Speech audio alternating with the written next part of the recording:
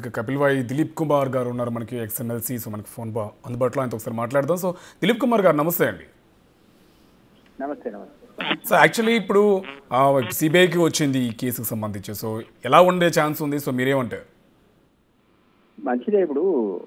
ఇది మొదటి నుంచి కూడా రాష్ట్ర కేంద్ర ప్రభుత్వాల మధ్య ఒక టజిల్ లాగా నడుస్తూ ఉంది. రాష్ట్రం తనకు ఉన్నటువంటి అధికారాలు వాడుకొని తన కంట్రోల్ ఉన్న పోలీస్ అధికారులతో సిట్ ద్వారా మనం చూసాం number three in the country అయినటువంటి సంతోష్ జీకే నోటీసులు ఇచ్చారు. అమిత్ షా కూడా నోటీసులు ఇస్తారని న్యూస్ పేపర్లు వచ్చారు. సో ఇవన్నీ కూడా రాష్ట్రపతం కావాలని కెలుక్కునే పద్ధతిలో ఉన్నది తప్ప అది నిజంగా కూడా ఏదో రియల్ ఇన్వెస్టిగేషన్ చేసి దాంట్లో ఉన్నటువంటి విషయాలు బయటపెట్టే పద్ధతి ఎంక్వైరీ సాగుతున్నట్టు అనిపించదు సో సిబిఐ ఒకవేళ ఇన్వెస్టిగేట్ చేసింది అనుకోండి నిజానిజాలు బయటకు వస్తాయి. సో అట్లీస్ట్ కోర్ట్ అన్న సిబిఐ నమ్మింది. రాష్ట్ర ప్రభుత్వం అయితే సిబిఐ కూడా నమ్మట్లేదు. నేను సిబిఐ అనేది ఎంట్రీ కూడా వీల్లేదని జీవో ఇచ్చి కోర్టు మట్టికాయలేస్తే అది క్యాన్సిల్ కావడం మనం చూస్తాం సో ఈ రోజు హైకోర్టు సిబిఐని ఇన్వెస్టిగేట్ చేయమనడం అనేది మంచి స్వాగతించాల్సిందే. అండ్ దీనివల్ల నిజంగా కూడా అసలు వంద కోట్లు ఎవరు పెట్టారు? ఈ ఎమ్మెల్యేలు వంద వంద కోట్లు ఆఫర్ నిజమా? ఊరికేనే బదనాం చేయడానికి ఇది డ్రామా అంతా ఆడారు అనేది అతి త్వరలో బయటకు వస్తుంది. సో నేనైతే ఇది వెరీ గుడ్ మూవ్ అని అనుకుంటున్నా. స్వాగతిస్తున్నా కూడా. అండ్ ఇంకోటి దిలీప్ కుమార్ గారు యాక్చువల్లీ ఇప్పుడు ఇప్పటి వరకు జరిగినటువంటి సిబిఐ లీడ్ చేసినటువంటి కేసులన్నీ కూడా ఎలా నీరు గారిపోయో మనం చూసాం. సో చాలా వరకు కూడా ఇప్పుడు ఆరోపణలు కూడా అవే వస్తున్నాయి. ఇప్పుడు బీజేపీ ఇప్పుడు సిబిఐకి వచ్చిన తర్వాత ఎలా ఉండబోతుంది అనేది కూడా ఒక క్వశ్చన్ మార్క్ రైస్ చేస్తున్నారు. మేబీ ఇది కూడా అలానే నీరు గారి ఛాన్స్ ఏమైనా ఉందా?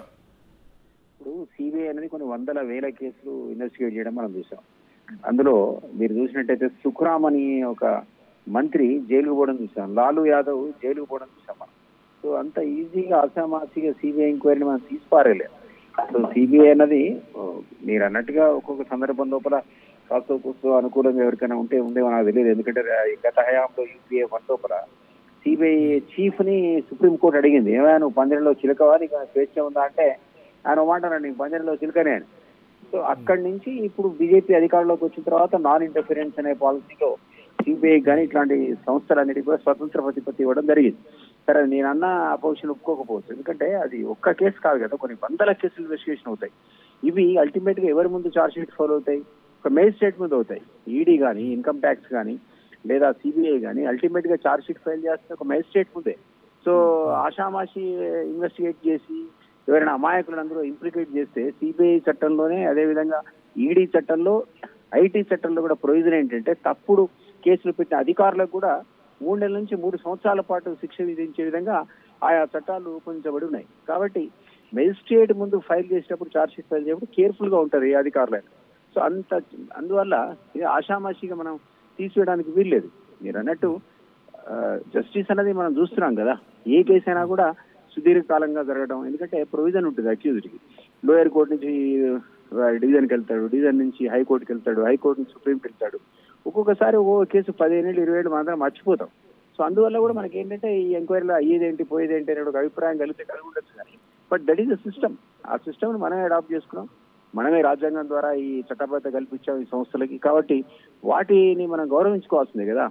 లేదా చట్టాలు రద్దు చేయాలి ఆ సంస్థను మనం రద్దు చేసుకోవాలి. సో ఇది ఒక్క బీజేపీకే కాదు కదా. గతంలో ఉన్నటువంటి ఎన్నో ప్రభుత్వాల హయాంలో కూడా ఈ సంస్థలన్నీ పనిచేశాయి ఆ సంస్థల మీద నమ్మకం లేకపోతే పార్లమెంట్ ఎప్పుడో వీటిని రద్దు చేసింది.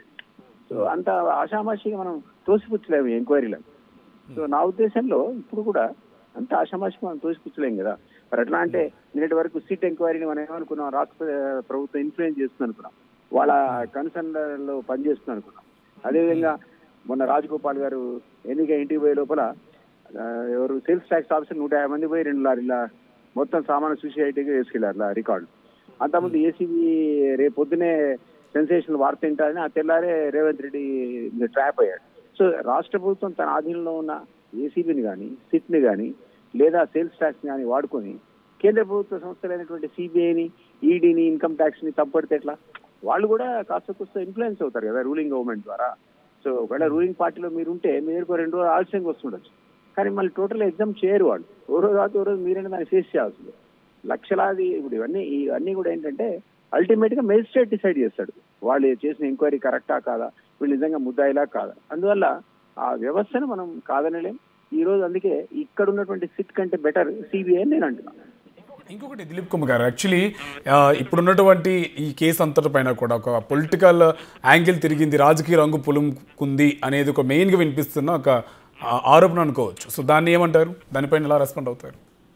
కదా ఇప్పుడు అన్ఫార్చునేట్లీ ఇప్పుడు ఆ ఎమ్మెల్యేలు ముగ్గురిని కూడా బీజేపీ వంద కోట్లు ఇచ్చి కొనబోతుంది అని అన్నారు. బట్ నిజానికి ఆ ముగ్గురు ఎమ్మెల్యేలు వంద కోట్లు ఇచ్చి ముగ్గురిని కొన్నా కూడా నిజమే అయినా కూడా రాష్ట్ర ప్రభుత్వం కూలిపోయేదేం లేదు ఆ ముగ్గురితో ఇన్ఫాక్ట్ అయ్యేది ఏమీ లేదు అసలు.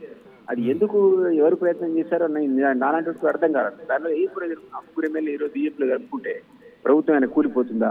ఆయనకు అబ్జల్యూట్ మెజారిటీ ఉంది. మెజారిటీకి అవసరం దానికంటే ఇంకో వన్ అండ్ హాఫ్ టైమ్స్ ఎక్కువే ఉంది ఆయనకి. సో అది ఎందుకో చూడటానికి కూడా లాజికల్ అనిపించలేదు. ఎందుకు ఎందుకు కొనాలి అసలు? వంద వంద కోట్లు ఇచ్చి ఒక్కళ్ళు చెప్పండి? అక్కడ రాజగోపాల్ ఆడ ఎలక్షన్ ఫైట్ చేస్తా ఉన్నాడు. ఆయన డబ్బుల కోసం కిరకిట్లు ఆడిపోయాడు. ఈ ఈయనకు వంద మంది ఇచ్చేపోయి ఆడ పంపచ్చు వాడు నిజానికైతే. సో అంతకంటే సీరియస్ అయితే కాదు కదా ఎమ్మెల్యే కొనుగోలు. సో అక్కడేమి ఆయనకు సకాల డబ్బు డబ్బులు అందినట్టు లేదు. దానివల్ల ఇబ్బందులు పాలయ్యాడు. ఆయన కోటలు పాలయ్యాడు. సో దీనివల్ల నేను ఐ డోంట్ రియలీ బిలీవ్ నిజంగా వంద వంద కోట్లు పెట్టి ముగ్గురు ఎమ్మెల్యేలు ఏ మీనింగ్ లేకుండా దానికి రేప దాని కాంటెస్ట్ లేకుండా కొనే ప్రయత్నం జరిగిందండి. సో ఏదో ఉంది అందులో. అది ఏ డ్రామానో ఎవరు ఆడారు దానివల్ల ఎవరికి ప్రయోజనం ఉందో నిజానికి we're all anxious to know అసలు. సిట్ ఎంక్వైరీ కావచ్చు గవర్నమెంట్ ఎంక్వైరీ కావచ్చు లేదా గవర్నమెంట్ ఆఫ్ ఇండియా ఎంక్వైరీ కావచ్చు. ఇప్పుడు సిబిఐ ద్వారా కాస్త వ్యవహారం అనేది నిజా నిజాలు బయటకు వస్తాయి. అది కొద్దిగా కాకపోతే కొద్దిగా స్వతంత్ర ప్రతిపత్తి ఉన్న సంస్థ కాబట్టి. సిట్ స్వతంత్ర ప్రతిపత్తి ఉన్న సంస్థ కాదు. అందులో ఉన్న అధికారులు రేపో మాపో ప్రతి దానికి కూడా answerable to state government so ఈ సిబిఐకి అవసరం లేదు. స్టేట్ వాళ్ళు సెంట్రల్ గవర్నమెంట్ డైరెక్ట్ కంట్రోల్లో లేరు. ఇండిపెండెంట్ సంస్థ. సో అందువల్ల నేను దాన్ని పొలిటి పొలిటికలైజ్ అయింది కదా. పొలిటిసైజ్ అయింది మొత్తం. ఎంటైర్ ఎపిసోడ్ అంతా పొలిటిసైజ్ అయ్యి కేంద్ర రాష్ట్ర ప్రభుత్వాల మధ్య డ్రామాలా నడిచింది కదా ఇది. అందువల్ల ఇప్పుడు ఇది తీసుకున్న ట్విస్ట్ ఏదైతుందో కోర్టు ఆర్డర్ ద్వారా సిబిఐ అనేది ఒక బెటర్ రిజల్ట్ వస్తుందని అనుకుంటున్నాను.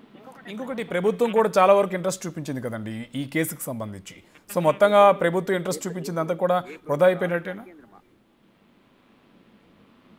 ఏ ప్రభుత్వం మీరు అనేది? రాష్ట్రమా కేంద్రమా? రాష్ట్రం రాష్ట్రం. Definitely virtually they monitor day to day basis monitor చేశారు కదండి. ఎమ్మెల్యేలు కానీ సీఎం కానీ ఆ ఎమ్మెల్యేలు పోయి సీఎం దగ్గర రక్షణ పొందడం డే టు డే వాడు సీఎంఏ అసలు దేశవ్యాప్తంగా దాని గురించి మాట్లాడడం ఇవన్నీ చూసాం మనం దాని దీనివల్ల కేంద్రాన్ని బద- బదనాం చేద్దామనేటువంటి ఒక పెద్ద సంకల్పంతో వాళ్ళంతా కట్టగట్టుకుని ఈ పని చేసినట్టు అనిపించింది. బట్ అది వాస్తవం అంటే బయటపడుతుంది. రైట్ థ్యాంక్ యూ అండి. Thank you so much Dilip Kumar